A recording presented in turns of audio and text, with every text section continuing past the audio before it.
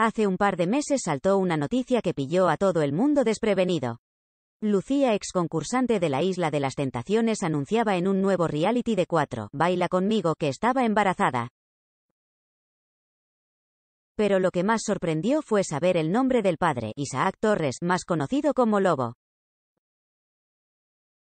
Ambos se conocieron en el programa de Telecinco y habían tenido una relación fuera de las cámaras pero cuando ella dijo que estaba embarazada ya había cortado con el tentador desde hacía unas semanas por infidelidades de Lobo.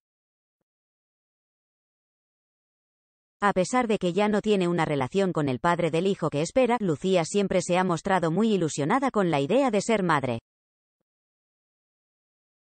Actualmente afronta el cuarto mes de embarazo y ella misma cuenta e informa a sus seguidores en redes sociales de cómo vive día a día su estado.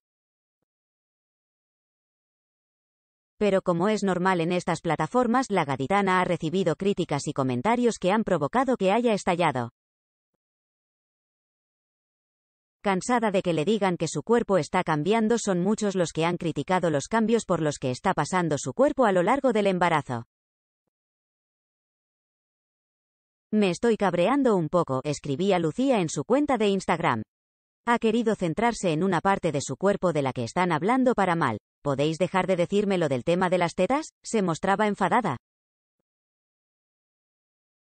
Me miro todos los días en el espejo, veo los cambios de mi cuerpo, ya sé que me están creciendo mucho los pechos, no hace falta que me estéis diciendo todo el día, qué barbaridad, ¿cómo tienes eso? ¿Te has dado cuenta de cómo se te está poniendo? Se quejaba Lucía Sánchez a través de sus redes.